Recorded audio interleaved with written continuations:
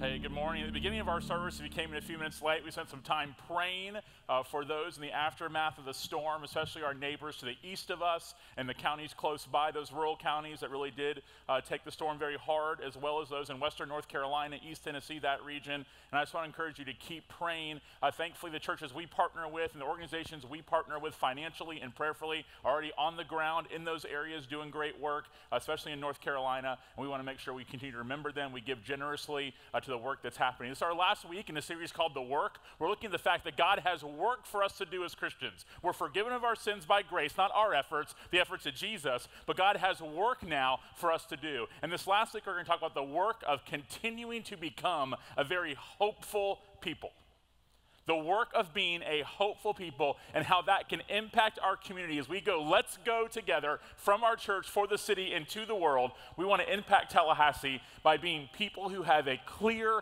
and certain hope that is not a hope on circumstances, not a hope that's fragile, not a hope that's dependent on anyone else except for Jesus and his work on the cross. What a difference it makes for our city that's so needing of hope to see a hopeful people called the Church of Jesus Christ. Let's pray together and we'll jump in. Our Father, we still are mindful this morning of those in the aftermath of the storm. And Lord, the one who can calm the waves, who is over all things sovereign, Lord, we ask that you will give those people relief and recovery, and you be with the believers on the ground, providing hope, providing physical needs, spiritual needs. Lord, we lift them up to you, especially in North Carolina right now, in East Tennessee, in that amazing area of the country. Lord, we ask uh, for healing to take place and for it to continue. Please continue to put it on our minds that we have your ear and that in your sovereignty you allow prayer to be what you use uh, to carry out your will. However that works, there's mystery to it, but we do know that we have your ear and that you are sovereign and that you are in control. So look to our God this morning. Lord, I ask for our city. Uh, that we, as uh, we were spared much from the hurricane, uh, that we'll be mindful of our neighbors and quick to help if there's need around us, and that we will be a generous people to help those uh, who are in need of recovery right now. Lord, I you speak through me this morning to keep the enemy out of this place, out of our church. That we will be found faithful, uh, that we will be able to go forward as people of hope because we believe that Jesus Christ has risen from the grave, that the tomb is empty, that our salvation has been accomplished. Lord, I speak all the churches in Tallahassee as they gather today. Let us all be convinced of the good news of the gospel. Let us all believe that in Christ alone our hope is found. We don't preach random morals for the sake of morals. We preach Jesus Christ and the work we have for us to do in response to what you have done for us. So we depend on you as you speak to me again this morning. I ask this all in the name of Jesus. Amen. Romans chapter 5 where we'll begin today. Romans chapter 5. One of my favorite chapters in all the Bible. I think I say that a lot, but I have a lot of favorite chapters in the Bible. This is definitely one of them. Uh, it ranks pretty high in my top 25 list, so here we go. Verse 1 Therefore, since we have been justified by faith, meaning God has declared us not guilty of our sins, even though we've sinned a lot. God declares us not guilty because Jesus, who never sinned, was found guilty in our place through his death on the cross. Because that is true, we have peace with God through our Lord Jesus Christ. If it wasn't true, if we haven't been justified, we certainly do not have peace with God. We have hostility with God because we're sinners in rebellion against Him, but no, not us, not Christians we have peace with God because we've been justified. And if you're new to faith, checking out Christianity, you need to know this you can have peace with God by trusting in Jesus to actually be your justification rather than yourself. We have been justified by faith. We have peace with God through our Lord Jesus Christ. Verse 2. We also have obtained access through him by faith. Again, not by our works, it's all by the work of Christ into this grace in which we stand. We bank all our hope on our justification, that Jesus is the one he claimed to be, and he accomplished this work for us. And we boast in the hope. That's where we boast. Not in ourselves, not generically in lowercase g God. We boast in the hope of the glory of God. And what is that hope? It's verse 1 that we have our justification, that God has accomplished this for us. He goes, and I'm going to keep going, verse 3. He says, and not only that, and this sounds so strange unless verse 1 is true. One of the weirdest things you'll ever read that is complete foolishness to the world unless verse 1 is true. We also boast in our afflictions. Dumb messaging to the world may first hear it in their eyes? Because our world is always get rid of afflictions any way possible, and there's always some sort of other reason for it. He is not Christians. And he's not saying we want affliction to come our way. He says, because our hope really is grounded in Christ, we can boast in anything if it's for the glory of God, including. So they're probably saying, well, what about struggles? What about trials? I knew you were going to ask that. And Paul says, and not only that, we also boast in our afflictions because we know, we have a certain hope. We know how this plays out. So, in the meantime, uh, that we know that affliction produces endurance in us. It grows us in our faith. Endurance produces proven character that's been tried, that's been tested. And what does that proven character keep doing for us? It produces hope. And this hope will not disappoint us. How often we put hope in somewhere or someone and find ourselves to be disappointed? If you're putting your hope in the upcoming election, no matter who wins, I promise you, you will be disappointed. This hope will not disappoint us. Why? Because God's love, not the world's love, that's conditional. God's love has been poured out in our hearts through the Holy Spirit who was given to us. For while we were still helpless, here's how God loves us. While we were helpless at the right time in God's sovereignty, as He planned, Christ died for the ungodly. Count yourself in that. That's us. When Jesus said he's a friend of sinners, he's talking about us. Christ died for the ungodly. He says here, let's get real practical, verse 7. For rarely will someone die for a just person, though for a good person, perhaps someone might even dare to die. He's saying you have a very short list of people you'd die for. A very short list. Probably really close family, Cousins probably don't make the cut. Your spouse, your children.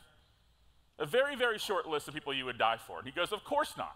I mean, of course you do. He goes, But here's how God is God proves, not just feels, even though he does, not just tells us, even though he does, he proves his own love for us.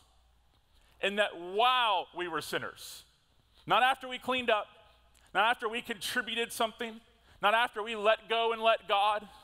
Not even after we got to work. While we were still sinners, Christ died for us. Never let that be elementary, just the ABCs of Christianity to you. Let it be A through Z that excites you about the whole story and reminds you of God's grace in your life. How much more then? Because of all the things I just told you, because we've now been justified by his blood, that's how it happens. We will be saved through him from wrath. That's what's happened. That's past tense. We've been saved. For if we were enemies, we were recon- while we were enemies, we were reconciled to God through the death of his son, then how much more, now that we've been saved, having been reconciled, we be saved by his life? we were enemies of God, He died for us. Now we're His friends. How much can we trust in God now that we're one with Him and reconciled to Him? And not only that, but we also boast in God. He's the source. He's the one. He's the object of our worship through our Lord Jesus Christ, through whom we have now received this reconciliation.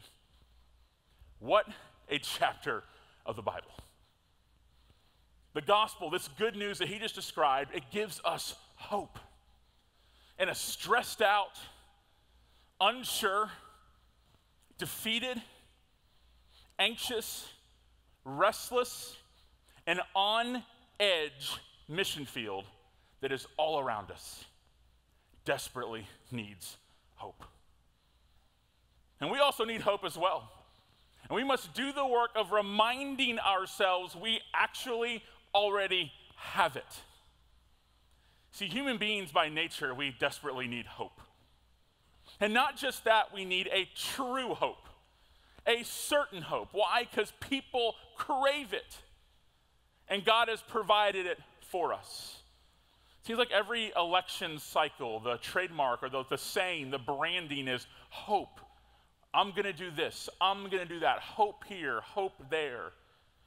And the whole idea is that these politicians, and I'm thankful for politicians, they give their life to this work to serve our neighbors and our nation, but that they're the ones that are going to bring hope.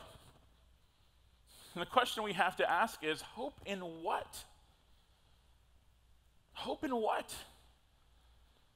And then, if it's hope is found in them, then what happens when your candidate loses or isn't in office anymore? Is hope gone? Has hope left us? Has hope gone away? But it's difficult for us to hold on to a true hope, and it does look foolish to the world. Why? Erwin Ince says this that Christian hope seems unreasonable because very often we will not experience victory in this life. And how often do we want results instantly? I know I do. We want a microwave life, not a crock pot life. Immediately, now. And we're hoping for something yet to come, and the world's going, What's that doing for you right this second? Our response has to be, It's doing much for me right this second. Because I know what's promised to me, and I can patiently wait for it to come true. My ultimate forever salvation, living out my oneness with Jesus Christ. And Paul owns this, the strangeness of it. In 1 Corinthians 15, verse 19, he says this If we have put our hope in Christ for this life only, just to kind of give us a boost and a little moral you know, thrust and allows us to you know, just kind of have some good spiritual feels when things go wrong, then, then we should be pitied more than anyone. Because at least they're getting instant, tangible results from their hope, the world, at least for a moment. It's going to disappear, it's going to go away, but at least they can pretend for a while. But what about us? We're banking on forever, and if our hope is only now, then why would we be people who take on persecution and say yes to God and no to the things of this world? Like, why would we do that? If our hope's for this life only, then go eat, drink, and be merry because tomorrow you die. Like, go do whatever you want to do. But if it is eternal, it really does count right this moment. Then he summarizes that hope, and in verses 57 through 58, he lands the plane. And he says, But thanks be to God. Yeah, it's going to come later, but it's also right now, who gives us the victory through our Lord Jesus Christ. Sin has been defeated, death has been conquered. Says, Therefore, because we had this victory, my dear brothers and sisters, be steadfast, be immovable. Culture changes every minute. Be immovable. Stubbornly immovable, not stuck in your ways, planted in the scriptures. Always excelling in the Lord's work. There's a work for us to do because you know that your labor in the Lord is not in vain. Folks, you're not wasting your time in following Jesus. It is not in vain. The goal of our lives, not just to get to retirement, it's so much greater. There's a hope that we do. And when you get to retirement, wonderful. Guess what? God wants you to keep working for His glory. It's just going to look different and be carried out in different ways. So we work to be people who live out the certain hope we have. It's not just a private, tucked away in the back of our mind kind of idea. And in a broken world, we await Christ to fulfill the final hope, our ultimate restoration. And it is difficult to stay mindful of God's promises. I know it is, it is for me. It's difficult to stay hopeful. As different things come your way, and imagine being people in North Carolina right now trying to remain hopeful. But again, what is the hope? See, Christians are people, we could call it in the in between. Theologians refer to it as being already, not yet as in we already have all the promises of God. They'll fill, the one day will officially be realized and consummated when Christ returns. But we live in that tension. We already know the truth that Jesus has risen from the grave, that he's coming again, but we await for it in the in between. You could say that we feel that tension kind of like a long distance relationship between an engaged couple. And don't be mistaken, God is near right now. But oftentimes, I was when Christy and I were dating, we were engaged. We were long distance the entire time. I was at Liberty University in Lynchburg, Virginia. She was in Tallahassee at Florida State, and it was like, good grief, can we finally just be together? You have this longing the bride often does to, to be with your groom, especially when you're engaged to me, major longing. And I'm around engaged couples a lot, premarital counseling, doing their weddings. I, I love all those things. And you, you, kind of a common thing to say to the bride is, You ready? Like, you know, two months out, are you ready? And they've done all this planning, and then they eventually go, You know what? And they, every single time it's the same script. You know what? I'm just ready to be married. After a 10 month engagement, you odd birds that do two year engagements, six month engagements, towards the end, it's like, I'm just ready to be married. See, we are called the bride of Christ. That's already true of us now. But we could say we're living in a very long engagement season. And there one day will be a true marriage where the bride and groom are together for all eternity. It's already true. We are the bride of Christ. Scripture calls us that, but we're awaiting that ultimate wedding to take place. Here's what Paul says to the Romans, chapter 8. Now, in this hope, the hope we read about in Romans chapter 5, 6, 7, 8, all of this, now in this hope we were saved. It's already happened, but hope that is seen, it's not hope. Because who hopes for what he sees? It's not a hope, that's just right in front of you. I appreciate that he acknowledges that. Now, if we hope for what we do not see, we eagerly wait for it with patience. The Bible points us back there over and over again. And keep in mind, the Old Testament is a story of generations and generations of awaiting the Messiah's first coming that we call the Advent.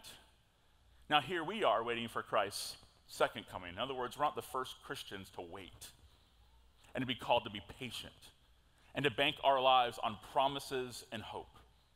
So we feel the tension, and maybe you haven't realized that's what it is a little angst in you, trying to follow Jesus, or the world pulls another way, wondering if it's worth it, being discouraged regularly by the things of this world, by aging, by things not working out exactly as you thought they would. It really is a longing. And the temptation is to fill it with the things of this world. That's not profound at all. That's just reality. Like, that's the temptation, rather than to fill with hope.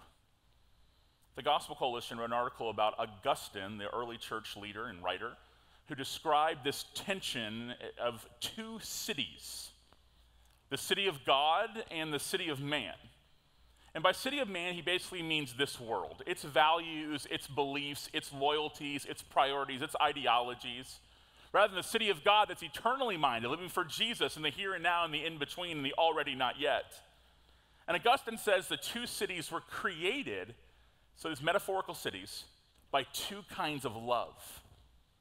The earthly city, the city of man, was created by self love, reaching the point of contempt for God. The earthly city glorifies in itself, the heavenly city glorifies in the Lord. See, we are living in the earthly city while waiting and longing for the eternal city, but doing the work as if it's already here. The earthly city is so fragile. And you know what it does as a result? It creates extremely fragile people. This is an article from Pete Nicola, who summarizes the book Anti Fragile uh, by Nassim Taleb who observes that some objects are naturally fragile, like glass or fine china, that expensive wedding gift you've got that you've used one time in your 26 years of marriage. And some are naturally resilient, like rubber, Tupperware. There's another category he labels as anti fragile. Anti fragile. And just as the immune system becomes stronger when exposed to the normal circulation of viruses and bacteria, so some objects become better under stress. And that's how God views us. As people, He's forming in the midst of so much darkness and brokenness. Because for the Christian, the gospel gives a unique security. It really is a unique security. It allows us to be anti fragile in a fragile world. Now, this does not mean that we are cold or we are numb or we are unable to feel. Jesus had emotions, Jesus felt deeply. He was fully God and fully man. But we're anti fragile.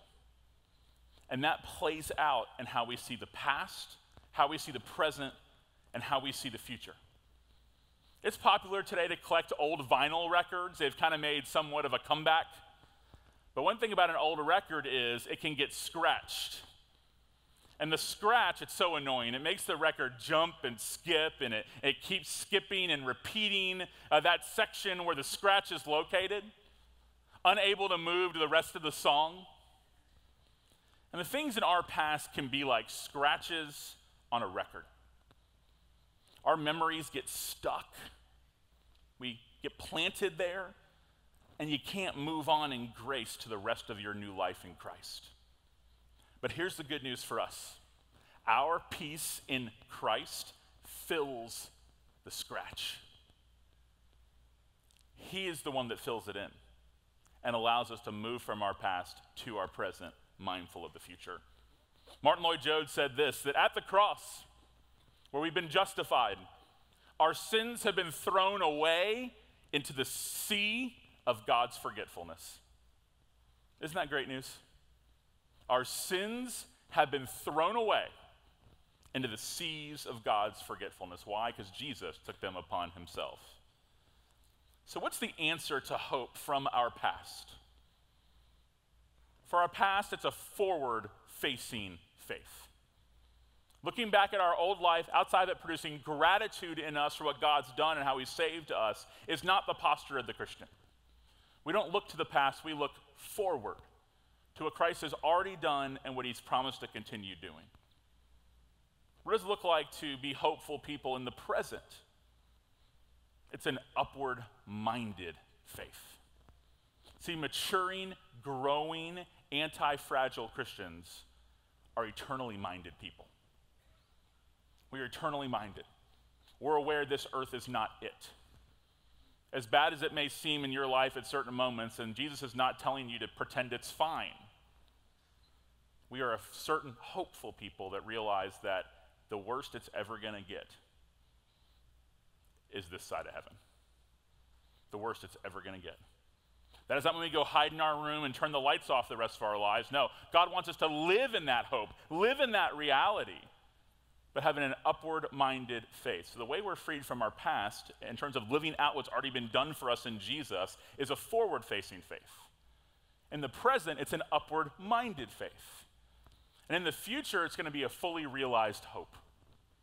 A fully realized hope. So we are an upward people and we are a forward people. 2 Corinthians 4 For we know that the one who raised the Lord Jesus will also raise us with Jesus and present us with you, that Christ's resurrection assures ours. Indeed, everything is for your benefit. Like God's really doing a work in you and it's not random. So that as grace extends through more and more people, it may cause thanksgiving to increase to the glory of God. Therefore, we do not give up. Like tapping out is not an option for a Christian. We do not give up. Even though we acknowledge this broken world, our outer person is being destroyed. But even though that's reality, guess what God's doing inside of you?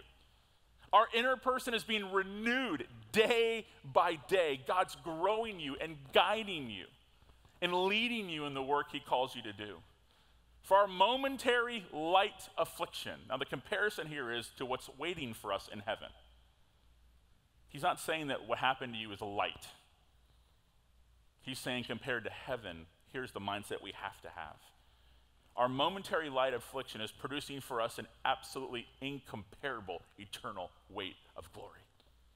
It's making us mindful, it's focusing us there, it's giving us a certain hope. So we do not focus on what is seen, but on what is unseen. For what is seen is temporary. How badly does our world need to hear this? But what is unseen is eternal. He's saying, Hope in the world? Like, why would you do that? Yes, live here and flourish here and raise your family here and provide here and, and do the, the things that God's brought you here to do for His glory, but don't put your hope here. And this work series has been the context of reminding us of why we did Let's Go. Our two year vision of expanding our vision to go from our church for the city into the world and I am convinced that as we care about the next generation, care about, care about everybody who's here right now, that we have to make sure people are seeing not just folks who believe that Jesus died and rose again, but what are the implications of that for the here and now? Yes, we're forgiven. That's the biggest story, and that's so important. But now we can shine a light, not in a cliche way, but as a hopeful people in a dark world where people in Tallahassee can say, there's just something different about the folks that go to that church. They're not afraid, they're unwavering on the scriptures. I've known the tragedies they've gone through, and they still hold fast to their beliefs, even in their pain. They're patient. They've prayed for their son to get baptized for 15 years. They're patient and they're committed to Christ and His church. Our hope in the gospel brings peace with God, it defeats death, and it enables us to endure hardships that will last. And Paul says this For we know, and I love the confidence. And why does he know these things? He's so convinced of it all because Easter is real, because Jesus rose from the grave. For we know that if our earthly tent we live in is destroyed, our bodies, our stuff, we have a building from God. We're looking to a greater building, a greater temple. And it's an eternal dwelling in the heavens, and guess what? It's not made with hands. It's not made with hands. So in the Old Testament, when God confronts idolatry through the prophets, they're building statues and worshiping them. And God actually mocks them. And he says, Let's get this straight. You went to Home Depot. I've never been before. I'm, I'm in Dorsey, so tell me about it sometime. But you, you went to Home Depot, you bought stuff, you bought wood and nails and all the things, and you went home and you built a structure and maybe you colored on it and put some eyes and a nose and, and a face. And now all you folks are gathering around and you're worshiping it. He's like, you know, that thing has ears but can't hear. It has eyes that you drew on it but can't see. It has a mouth. You know that. You painted it. It can't speak. So think about what you're doing for a minute.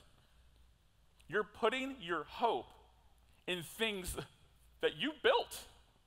Like you actually took this stuff and constructed it, and now you're saying that that's a God? It's made by human hands, but you have a promise waiting for you that's in the heavens. And not only is it not made with hands, it's made by the eternal God. Let's put our hope there. And let's show a city by how we handle every area of our lives that Christianity is not a category. It's not an accessory, it's not an add-on. I know maybe, maybe you're new to faith, or maybe new to church, or maybe just new to Bible preaching church, whatever it could be. And, and I just want to encourage you, you're, you're going to keep growing in that. You're going to keep growing in that. We're not, we're not expected to be you know, 0 to 100 Christians in 10 seconds. There's not a 100 Christian in this room. We're all in the process of growing, understanding, learning, and believing more that God really is best. And we don't have to go around him for the things we're looking for. We can go right to him, and that I not, don't have more to be gained by disobeying him than I do to be gained by obeying him.